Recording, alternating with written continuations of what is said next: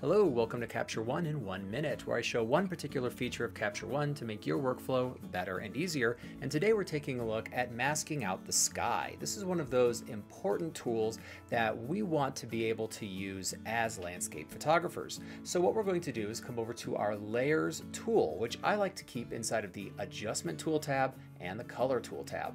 I'm going to add a new empty adjustment layer, and then I'm going to click on the Linear Gradient tool.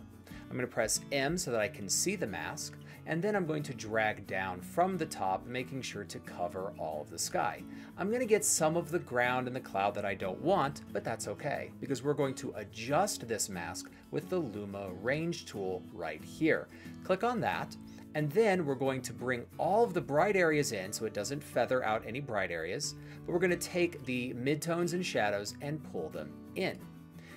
It's going to take Capture One a moment to uh, analyze that, and then it's going to bring all of those darker areas out of the masked region.